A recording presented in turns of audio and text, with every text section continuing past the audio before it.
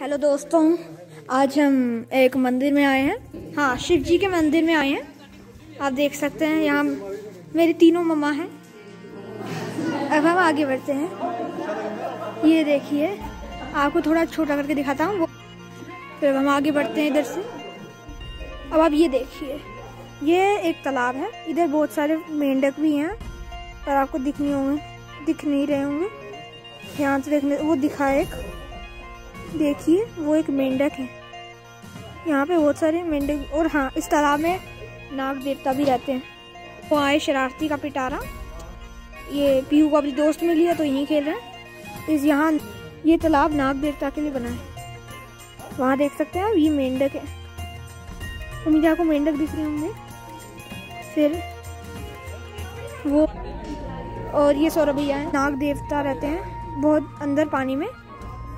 और वो दर्शन भी देते हैं जो सच बोलते हैं लोग। यहाँ भी वो नहीं है। ठीक है अब मैं वहाँ लोटा। लोटा। लोटा कोई तो। वो बड़े आपा हैं। लोटा ही नहीं दे रहा कोई। देखना में देता हूँ। किस चाचू, एक कमेंट देखिए।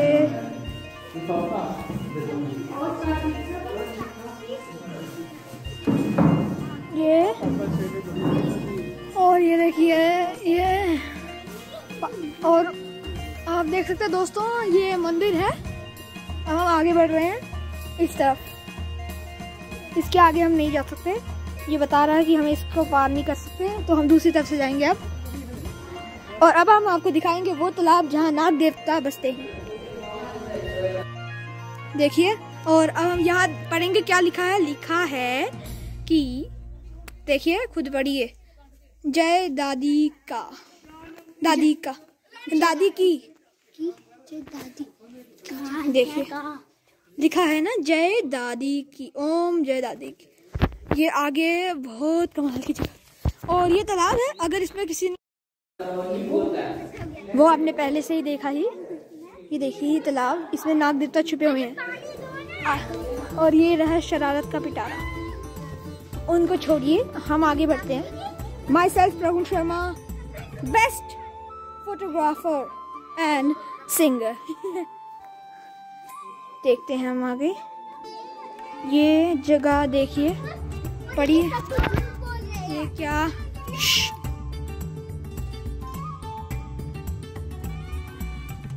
अगर किसी को मरने का शौक हो तो इसमें डुबकी लगा सकता है। तो अब हम आगे बढ़ते हैं।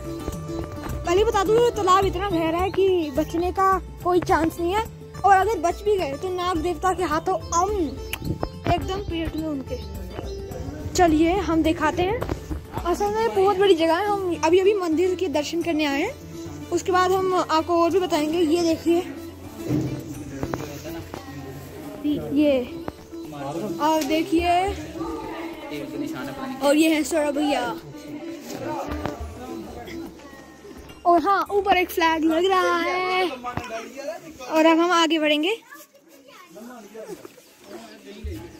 हमें हमें इस तरफ़ बढ़ना है। चलिए अब इस तरफ़ अब इस तरफ़ बढ़ते हैं। तो दोस्तों देखिए क्या व्यू है।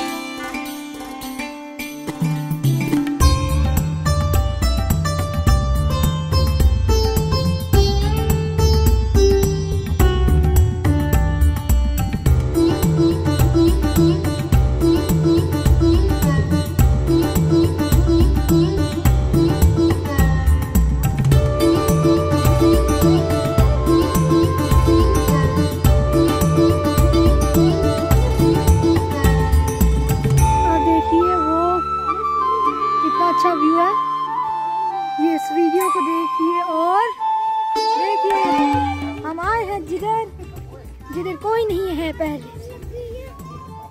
और मेरी बहन को फिर से, और मेरी बहन को फिर से चोट लगी। मम्मा पीयू को चोट लगी। पीयू शर्मा आप मम्मा के पास जाइए और मम्मा से इस चोट का इलाज पूछिए। पीयू शर्मा को चोट लगी गई है। और मेरे शूज़ के अंदर जो सॉक्स हैं वो मुझे तंग कर रही है, ये दीवार है दीवार का। और ये एक और शरारती बच्ची।